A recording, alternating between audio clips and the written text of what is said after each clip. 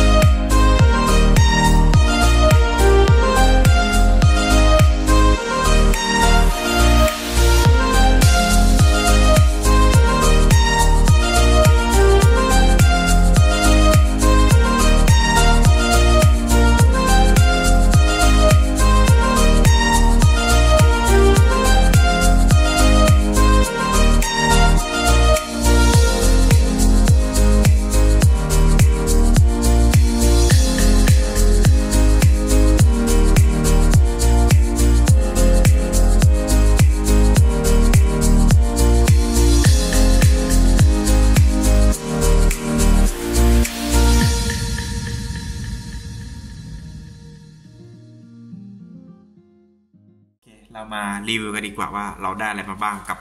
งาน TGS หรืองานหนังสือนะ ที่ผมไปมา โอเค เริ่มจากของฟรีก่อนเลยนะ อย่างแรกเลยเราได้ไม้กายสิทธิ์นะ ไม่ใช่นะ มันคืออ่าไม้ลูกโป่งนะ นี่คือลูกโป่งนะนะซึ่งก็ให้มาอย่างนี้เลยเป็นลูกโป่งปอมๆนะนี่โอ้โหใหญ่เลยนะ สูบลมไงไม่รู้นะอ่าสูบจากนั่นสูบจากนี้แหละนะ สูบไม่เป็นนะ ไม่รู้จะสูบไงดีนะ แต่เอาเก็บไว้แล้วกันนะเผื่อเผื่อได้ใช้บางโอกาสโอเคลูกโป่งปอมปอมนะ ต่อไปนี่เอาของโฮโยเวิร์ดก่อนดีกว่าอะของโฮโยเวิร์ดนะโฮโยเวิร์ดผมเข้าแค่อ่าผมเข้าเน้นเข้า Star Rail เดียวนะแล้วก็จะมีนี่ อันนี้คือผมซื้อตั๋วแบบอ่าโฮโยพาร์ทนะก็คือ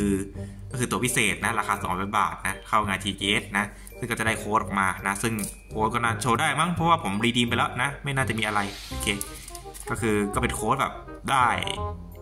โค้ดทั่วไปแหละได้เพชรมาได้เจมมาโอเคนะนี่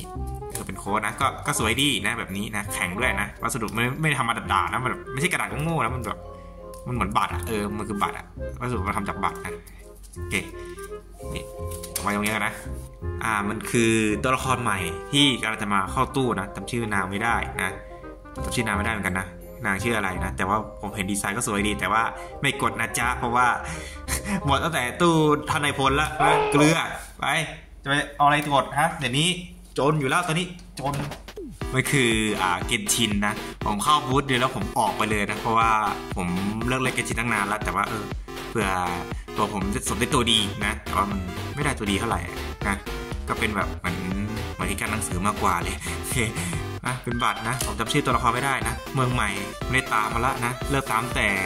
ซูเมรู้ละโอเคโอเคสำหรับผมนะผมรู้สึกว่าบูธโฮโยเนี่ยรู้สึกว่าแบบผมค่อนข้างแบบผิดหวังนิดนึงนะเพราะว่ามันของมันไม่ได้แบบว้าวขนาดนั้นนะที่ว้าวสุดก็น่าจะเป็นไอไอเนี่ยแหละไอเนี่ยว้าวสุดแล้วมั้งแต่ก็แบบกับผมมันบูธอื่นก็ทำได้อะคือมันเหมือนแบบปีที่แล้วอะปีที่แล้วมันมีเตือนนี้ไงอะมี อ่าพาสปอร์ตเนี่ยเนี่ยมันทำมาดีมากเลยไม่ใช่ทำแบบกากๆเลยนะนี่ของปีที่แล้วนะ ไม่ใช่ของปีนี้นะเนี่ยคือไม่ได้ทำมาดีนะ คือ แต่ว่าผมไม่ได้รีวิวตอนผมไปปีที่แล้วเพราะว่ามันมีดราม่าเยอะนะก็เลยแบบว่าไม่ได้รีวิวนะ ก็เลยโอเค แต่ผมก็ขอขอขอบอกว่าปีนี้ปีนี้นะของ HoYoverse มัน drop ไปหน่อยนะผผมรู้สึกว่าของ limited น้อยไป แล้วก็มันไม่ได้แบบ มันไม่ได้แบบว่าแบบดูหวือหวาเออ Okay. ดูแบบธรรมดาไปหน่อยนะแต่ว่าแต่ก็ถือว่าดีอยู่นะ คือโฮโยก็ถือว่าจัดว่าดีอะรักษามาตรฐานอยู่แต่ว่าแบบแต่ผมรู้สึกว่ามัน drop ไปหน่อยนะเนี่ยไอทีรู้สึกว่าลูกโป่งปอมปอมรู้สึกดูว้าวกว่าไอสองพวกนี้อีกอะเออโอเคนะนี่คือจบไปแล้วกับอ่าบูธโฮโยนะเดี๋ยวผมก็เก็บก่อนโอเคอะทีนี้บูธอื่นบ้างนะ อันนี้ก็เป็นบูธแบบเกมใหม่นะ เป็นอะไร Starseed นะ เป็นเกม turn-based ก็มีโค้ดด้วยเนี่ยเฮ้ยมีโค้ดด้วย โอเคนะเออมีดีโค้ดได้นะ ไม่รู้เหมือนกันนะ ผมไม่เล่นนะ แต่ว่าแบบโอเคแล้วก็อ่านี่มีสติกเกอร์ด้วยนะโอ้น่ารักดีเป็นจีบีนะเป็นเกมเทิร์นเบสเนาะโอเคก็ถ้าเกิดแบบไม่มีอะไรทำผมว่าอาจจะหาเวลาว่างมาเล่นนะ ก็อันนี้นี่ LD Player มันเปิดบูธนี่เออนี่ผมได้ผมได้นี้มานี่แกะไม่ใช่ดิเขาเรียกว่าแจกที่รองแก้วนะ ผมเลือกที่รองแก้วนะเอาจริงมันเลือกได้หลายอย่าง แต่ผมเลือกเป็นที่รองแก้วผมจะไม่ผิดนะ แล้วก็ไอ้นี่นี่แผ่นรองเมาส์อ๋อผมเลือกแผ่นรองเมาส์ดิเออผมเลือกแผ่นรองเมาส์เนี่ยรองเมาส์ยาวอยู่นะเดี๋ยวแกะเดี๋ยวแกะดูกันว่ารองเมาส์นะพอดีว่าแผ่นรองเมาส์ผมพังไงเออพอมันเก่าแล้วเนี่ย โอ้ยาวอยู่เนี่ยนี่แผ่นรองเมาส์นะ นี่นี่เอาไปเล่นตลิ่งชันได้เลยนะเนี่ยเอาจริง เออพูดถึงตลิ่งชันนี่ผมได้การ์ดมาด้วยเนี่ยน้ำใจสองใบ Yeah. นี่น้ำใจนะ ได้มาจากเล่นงานหนังสือแหละนะ คือได้เล่นหนึ่งตาผมว่าเอามาเลยสองใบนะ เพราะว่าคือเขาพอดีว่ามันมีคนแข่งคนหนึ่งอะเขาเขาได้ลองแข่งแล้วเขาได้การ์ดดีนาก็ก็เขาไม่เอาให้ผมเลยนะปังถือว่าเป็นแบบผมได้สองใบเลยนะน้ำใจสองใบ Okay. โอเคอะจบจบก่อนนะ อันนี้ก็ นะเป็นแผ่นรองเมาส์นะกว้างดีนะเออสวยด้วยโอเคแล้วก็เป็นอ่าแผ่นรองแก้วแก้วก็เป็นไอ้โค้ดผมได้โค้ดของไอ้นี่โค้ดโค้ด a d i p a y e r นะเป็นโค้ดพรีเมียมนะ ซึ่งผมยังไม่ redeem นะ ผมขอไม่ไม่โชว์กันแต่ผมได้โค้ดมาโอเคแต่สำหรับผมอะผมว่างาน TGS เนี่ยผมว่ารู้สึกว่าพัฒนาขึ้นอีกระดับหนึ่ง เพราะว่ามันรู้สึกว่ามันหลากหลายกว่าปีที่แล้วนะ แล้วก็เออนี่ สติกเกอร์นะนี่ได้นะในในงาน GS นะ ซึ่งไอตลิ่งชันรู้สึกว่าจะมีอยู่ 2 ที่นะ คือ TGS กับในนี่นะ ในงานหนังสือเนาะโอเค ก็ได้มา แล้วก็เออคุณกุญแจ LD Player นะ โอเคอะนี่ไว้นี่เลย นี่การ์ดนิเกะนะ ซึ่งผมจำชื่อบูธไม่ได้แต่ว่า ไม่ใช่บูธแบบนิเกะโดยตรงส่วนเป็นบูธแบบว่าแบบบูธเขาจัดร่วมกันเนาะ แต่ว่ามีนิเกะอยู่ด้วยไงนิเกะแอบแอบจัดนิดหน่อยนะเข็มกัดไซเกมนี่ ถ้าเกิดคุณเข้าในลองเลสของไซเกมเขาแจกมาผมไปลองเล่นบูธของอ่าอุมะอุซุเมะนะ เพราะว่าผมผมรอเกมนี้มาตั้งนานแล้วไอ้ภาพที่มันเป็นแบบคล้ายๆคูดิของดอทบอลอะผมลองเล่นดูก็แบบเออสนุกดีนะ อยากซื้อเกมนะ แต่แต่ไม่มีเพื่อนเล่นนะเออเกมมันหนุกดีนะ ผมลองเล่นดูละเออ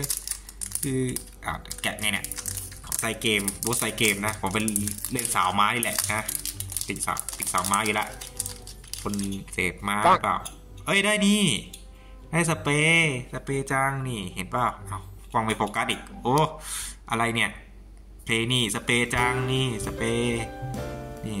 โอ้ยดีเลยได้เกลือว่ะเดี๋ยวนั้นได้สเปรย์ไอยอยากได้เทโออะอยากได้เทโออะมีไหมเทโอวินเทอร์โบก็ได้สักคนหนึ่งอ่าดูรอปก็ได้ เอาตัวที่กูรู้จักอะอะ อันนี้อะไร ดูดิ อ๋อ นี่เป็นเกมแกงบูดป่ะ แกงบูดแฟนตาซีเกมผมไม่เคยเล่นนะแกงบูดแฟนตาซีนะ แต่ว่าแต่ว่ารู้จักอยู่นะ เพื่อนผมชอบเรียกว่าแกงบูดนะ แกงบูดแฟนตาซีอะอยู่ไปเลยนะโอเค ไป นี่เยอะอยู่นะ ตอนนี้อันนี้ของเกมนู้นเนาะโอเคโอเคนี่ไม่เกี่ยว ก็แผ่นรองเมาส์ไว้นี่กันนะโอเค อันนี้น่าจะหมดไปกับของฟรีแล้วมั้งเอาแล้วก็มีนี่ลายเซ็นของพี่แท็กเกิลนะ ผมไปเราไปขอลายเซ็นเขามานะเราไปถ่ายรูปด้วยนะ ผมขอไม่โพสต์ละกันนะ เพราะว่ากลัวปัญหาเรื่องข้อมูลส่วนตัวเนาะแต่ก็โอเคก็ได้เจอกับยูทูบเบอร์คนแรกของผมที่ผมรู้จักนะ ก็เป็นคือ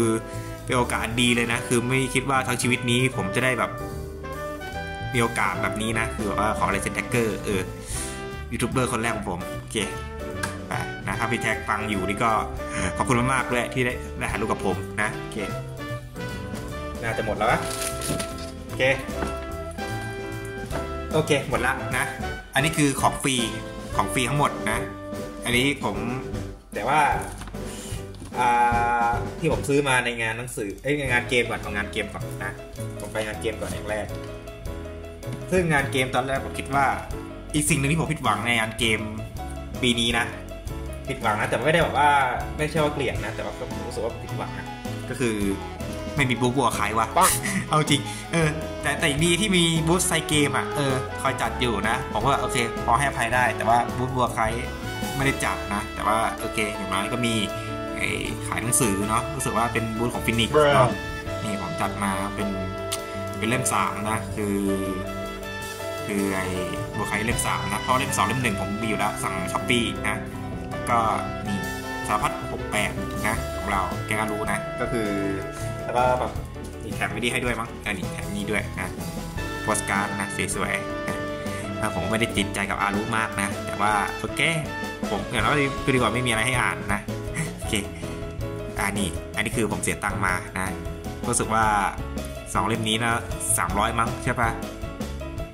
เอ่อจำไม่ได้กันนะโอเคจำราคาไม่ได้นะอะแล้วก็เดี๋ยวผมเคลียร์อันนี้ก่อนแล้วกันเนาะโอเคนะจัดเคลียร์ของเรียบร้อยแล้วนะโอเคงานหนังสือ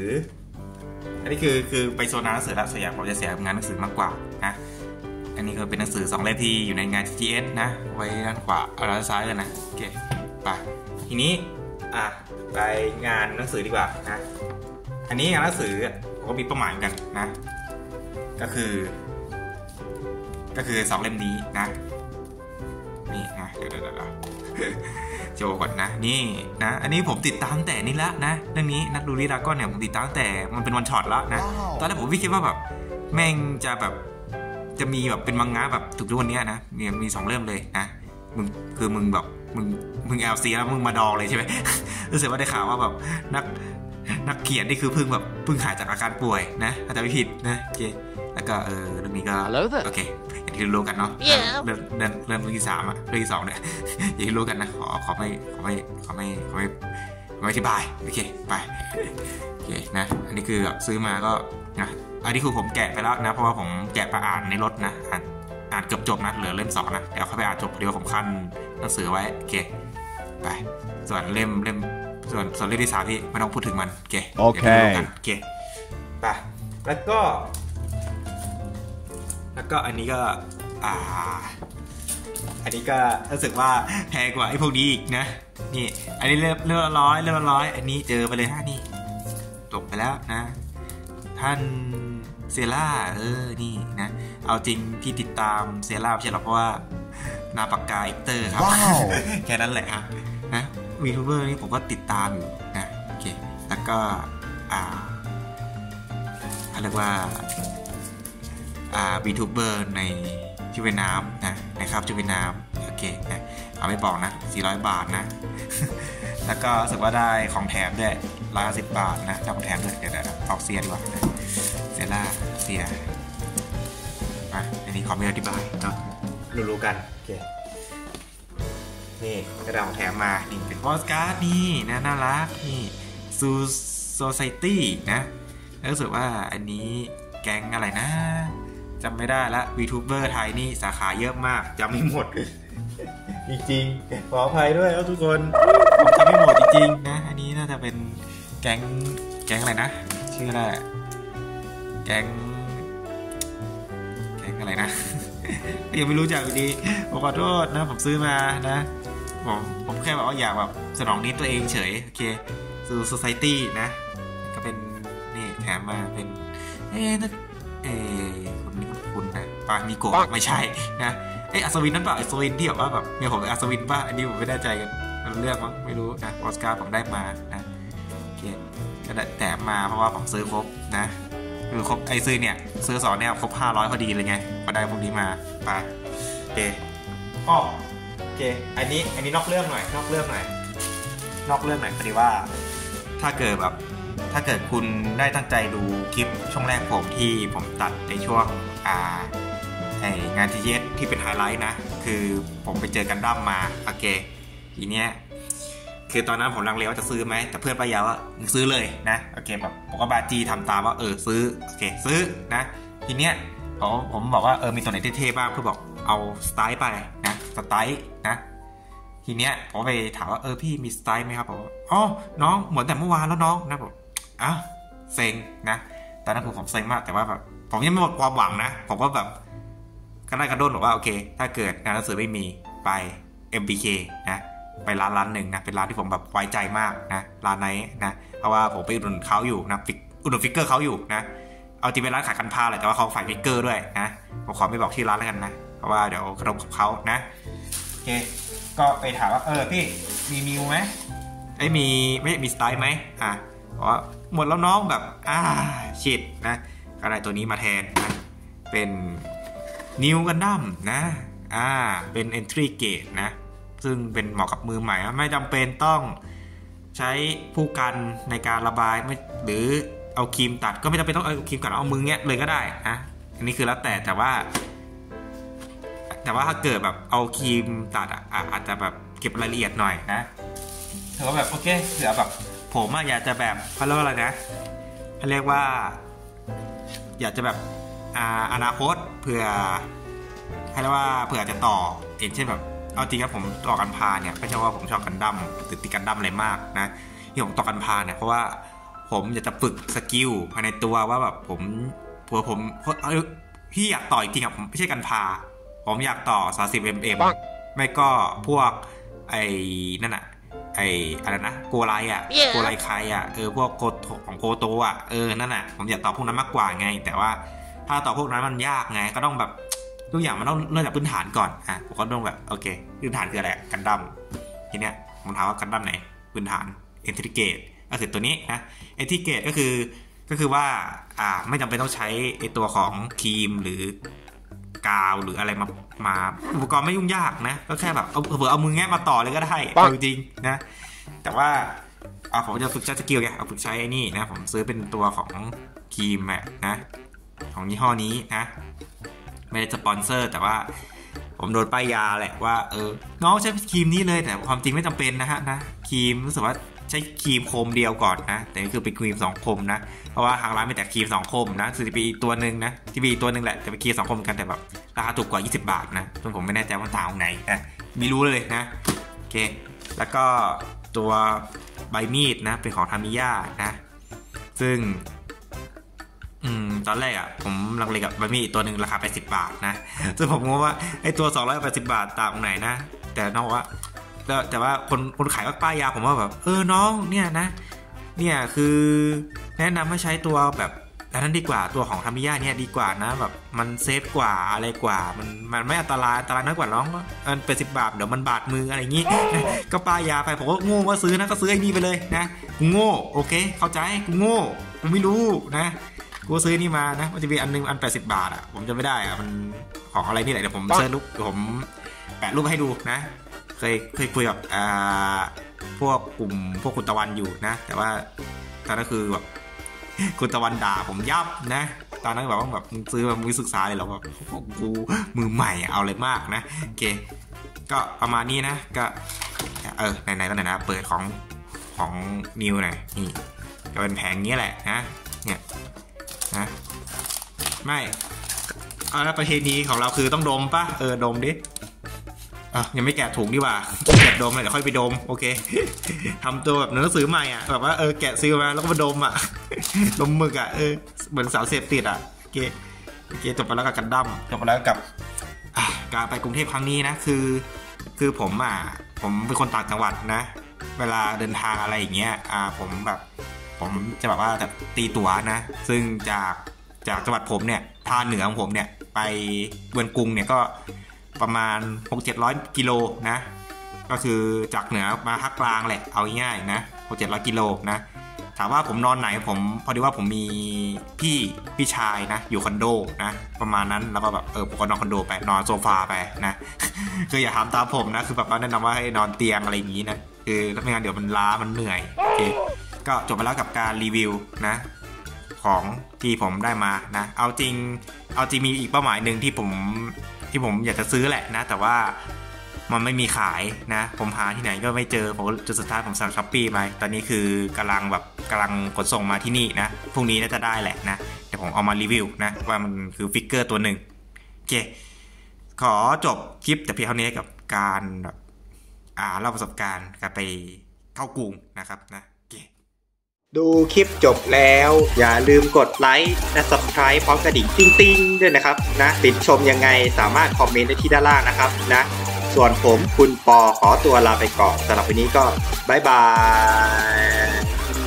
เย้